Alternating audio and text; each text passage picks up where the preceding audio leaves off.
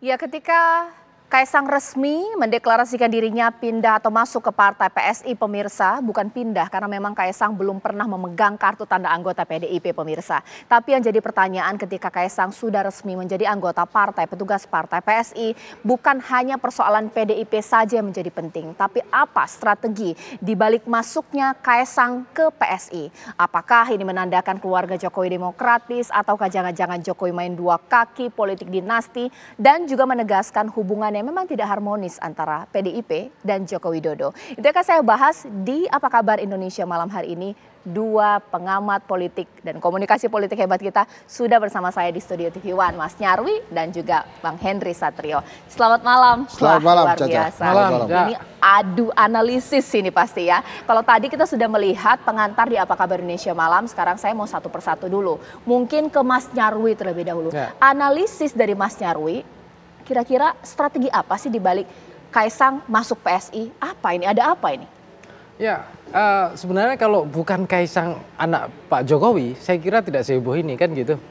Nah, tetapi begitu ini kita lihat Kaisang ya sebagai anaknya Presiden Jokowi, nah ini kemudian implikasinya uh, dalam spekulasi-spekulasi politik itu muncul banyak, Cak.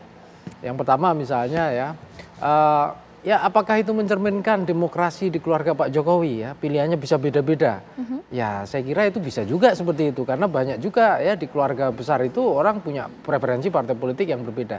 Tapi kan kita tahu di PDIP ini ada aturan kan uh, yang sering kali disampaikan oleh PDIP ya. Uh, satu keluarga itu ya satu partai kan gitu. Nah tetapi kan kita juga tahu Kaisang ini sudah berkeluarga sendiri kan gitu sehingga ada kebebasan kan gitu. Nah Cuma kemudian kan spekulasi berikutnya saya kira gini ya, dengan kita lihat posisi PSI yang kemarin-kemarin apa nada-nadanya itu kan lebih uh, memberikan sinyal dukungan kepada Pak Prabowo dibandingkan Mas Ganjar misalnya. Nah, ini kan kemudian ada spekulasi, nah apakah ini wujud ekspresi dukungan secara tidak langsung gitu ya mm-hmm. dari keluarga Pak Jokowi misalnya melalui Kaisang di sini kepada uh, Pak Prabowo misalnya begitu. Nah, bahkan mungkin bisa juga ada tafsir yang mungkin uh, apa namanya bisa meluas lagi gitu ya. Nah, apa ini bagaimana dengan PDIP kan gitu? Uh, padahal di keluarga Pak Jokowi kan kita tahu uh, banyak yang dibesarkan dengan PDIP kan gitu dalam proses uh, pemilu, pilkada seperti itu. Nah, uh, tadi misalnya di pengantar tadi, jangan-jangan uh, ini ada peluang nih bahwa hmm. PSI dengan masuknya Kaisang gitu itu justru bisa kemudian uh, ini sebagai partai non parlemen walaupun hmm. tidak signifikan sampai hari ini di parlemen tetapi di mata anak-anak muda ini penting kan gitu. Nah dari situ kemudian siapa tahu ada peluang misalnya hmm. PSI ini juga ada kemungkinan bisa beloknya mendukung uh, Mas Ganjar kan gitu. Hmm. Caca kita kan tahu ya tidak hanya koalisi, uh, tidak hanya pasangan apa ketua umum partai dan koalisinya yang yang terakhir-terakhir itu belok belok-beloknya hmm. cepet gitu ya. ya. Eh, jangan-jangan juga saya kira dukungan partai juga mungkin juga itu berbelok-belok gitu loh. Artinya berubah berubah hmm. ini termasuk ya. misalnya termasuk di sini PSI. Tetapi juga begini Cak uh, berbagai spekulasi itu itu saya kira wajar ya karena ya. publik kan juga pasti akan membaca. Karena yang kita tahu ya politik hari ini itu kan politik yang ekspresif yang simbolik-simbolik itu ya. Statement-statement uh, uh, yang yang bahkan termasuk misalnya tadi ya ketika terima KTA gitu saya kira kan juga uh, apa tidak secara spesifik tentang bagaimana posisi Kaisang di PSI nanti perannya kayak apa gitu ya. Uh, mewarnai kayak apa di PSI gitu misalnya.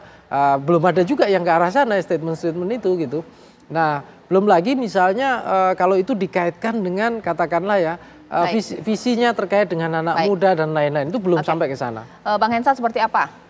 Kalau saya melihatnya ini bentuk dari kejeniusan politik seorang Joko Widodo ya. Wow.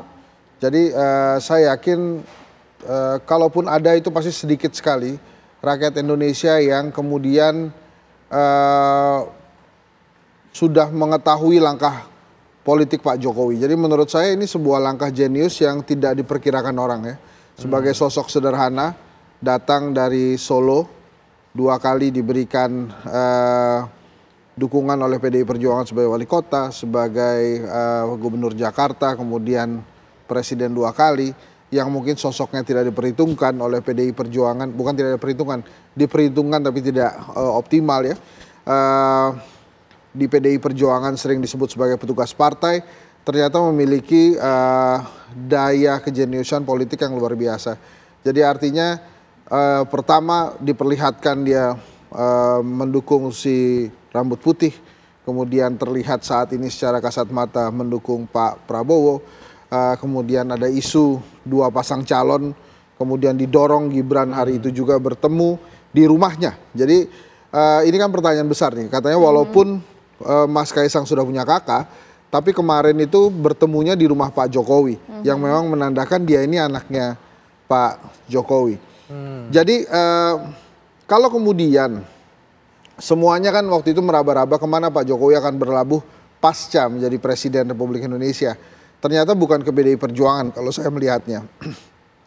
Karena PDI Perjuangan tidak bisa goyah tegak lurus ke Megawati Soekarno Putri dan memang uh, lem kebangsaannya itu lem ideologisnya adalah hmm. Soekarno. Hmm. Jadi bukan Pak Jokowi. Maka muncullah isu Pak Jokowi akan berlabuh di Gerindra karena sudah disiapkan kunci rumah oleh Gerindra. Ternyata anaknya yang uh, bungsu yang terlebih dulu bergabung dengan PSI. Uh, eh, di PSI ini ya. kita tidak perlu terlalu jauh menganalisa kaisangnya. Hmm. Tapi yang kita lihat adalah Jokowinya. Maka kalau kemudian saya dengar selentingan besok akan ada rapat besar dan kemudian Mas Kaisang akan dilantik sebagai ketua Baik. umum PSI, saya nggak kaget. Baik. Karena memang yang kita lihat adalah sosok Jokowinya. Lantas okay. bagaimana dengan isu atau rumors politik selanjutnya Baik. yang pernah menyebutkan bahwa Mas Ganjar akan berlabuh di Gerindra sebagai wakil ketua umum misalnya. Hmm.